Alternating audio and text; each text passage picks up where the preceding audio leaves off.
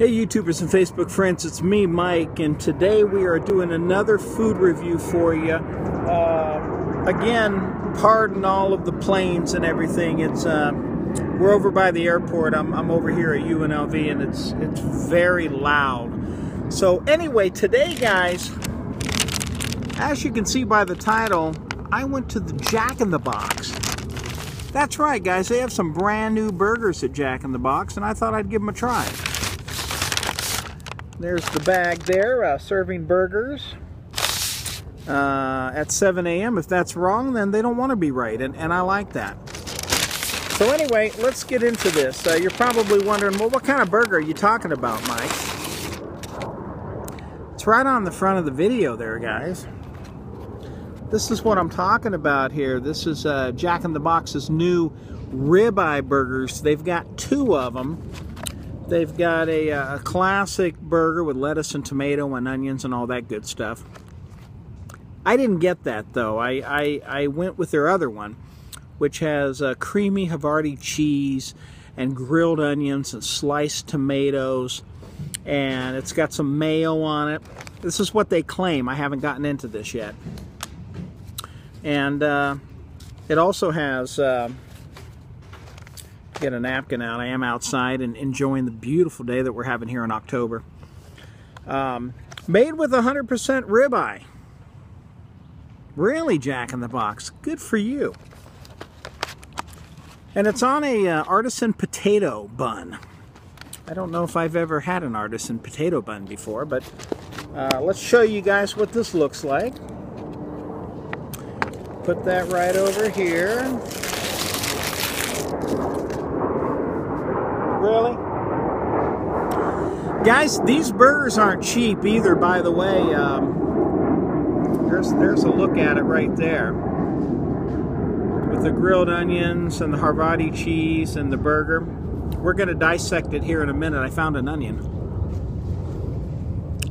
First thing I'm noticing is um, the top of the bun, the potato bun, is, is nice and soft. Well, somewhat soft but the bottom seems to be kind of kind of hard. Almost like it's been sitting out in the air kind of kind of stale. I was gonna mention these aren't cheap. This was five dollars and 19 cents for this. And I normally don't spend that kind of money at, at uh, Jack in the Box. I got to get another napkin.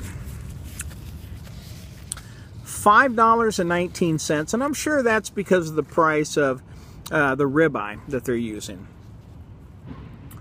But yeah, the bun is definitely not very soft. It's not uh, top quality. I don't know if you can see here. Uh, the bun's kind of dusted with some flour. So I don't know. It's it, yeah, yeah. There's there's there's the mayo on top. This is the uh, excuse me. This is the the beef patty. I would like to try. There's some mayo on that too. But anyway, let me give a good look at the uh, other than that ding ding ding ding ding. Other than that cheese there. Now the beef patty is is supposed to be top quality ribeye.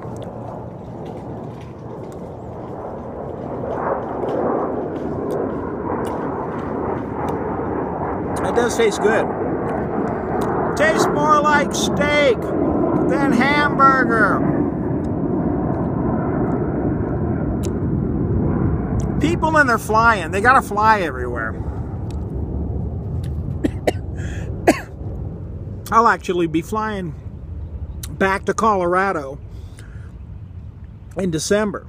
So when I'm back there, I'll see if I can do some uh, food reviews back in uh, back in Colorado. Anyway, we got the well, we got the Havarti cheese that's all the cheese they gave me right there. Oh, there's some more on here. Okay, never mind, guys. uh, we got some grilled onions. Put this here.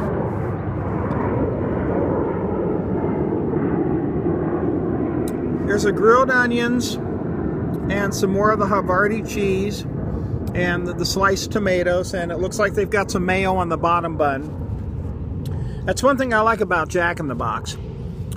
They always put their sauces on the top and on the bottom. All right. So, these are limited time as well. They're the new ribeye burgers from Jack in the Box.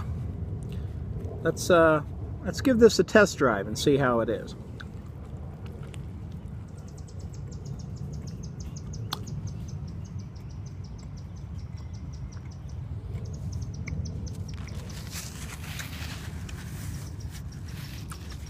Again, the bun is not very fresh.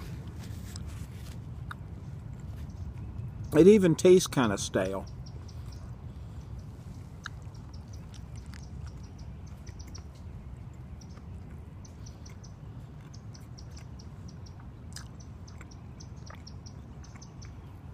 It's a good beef patty. I mean, it's it's pretty thick.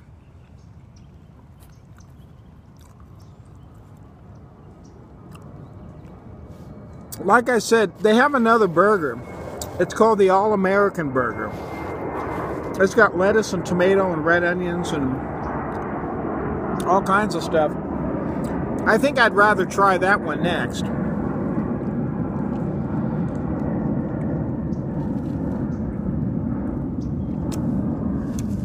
There's a lot of bun action, and it's not very good.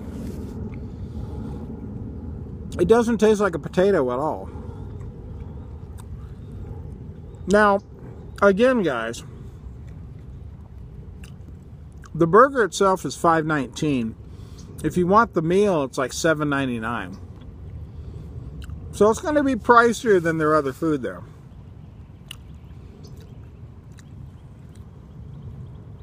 No, I don't know.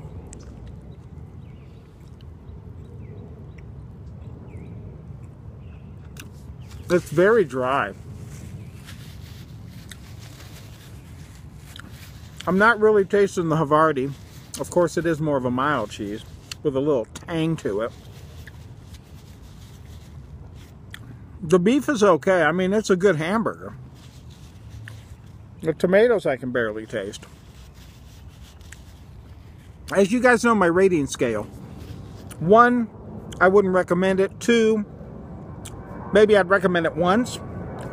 Three, I'd be back for it again. Guys, I'm going to be brutally honest with you. For the price of this burger, I would not recommend this one. One star. Now, maybe at your local Jack in the Box, they'll have some fresher buns. But the, the hamburger is very bready. I mean, it tastes like a lot of bread. The beef patty is good. I do have to give uh, some good marks to the beef patty. Uh, there's not a lot of onions on here. The Havarti's on here, but hmm. Now I got some tomato.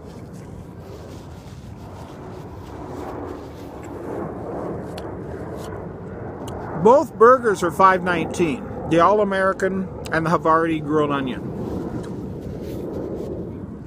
And the All-American has a lot more stuff on it. So on the next food review, um, the next one I do on this burger, I'm going to do the All-American and see how that compares um, to this one. I can't remember if the All-American has cheese or not, but we'll find out on the next video. This one, guys, I'm only giving one. item. it's not that great of a burger, number one. And number two, it's very expensive.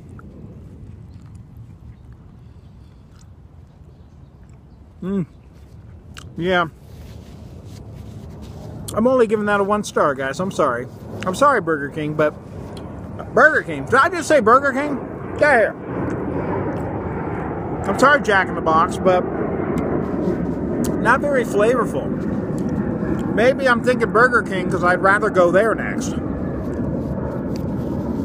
They have some new items too that I might want to try. But um, for this one here, the, the ribeye, Havarti, and grilled onion, only a one star, guys. I'm going to leave a description in the description box um, of this burger so you can see what all's on it. And it probably looks better in the picture, but uh, here, not a lot of flavor. Um, thanks, guys, for hanging out. Leave comments if you've had this sandwich and if you've had the All-American burger, because I would like to try that. And uh, give this video a thumbs up if you like it. If you don't, and I don't. This is really not that good. I'm going to finish it because I'm hungry. But I wouldn't even recommend. I would that, that, that, I wouldn't even recommend you trying that one. Try the All American because it just looks better. Anyway, thank you guys um, for uh, joining me for lunch today, and uh, hopefully this burger will be better next time. Uh, it's almost Halloween, so I want to wish every single one of you a very happy and safe Halloween, and I will see you on my next food review. Have a great day, guys.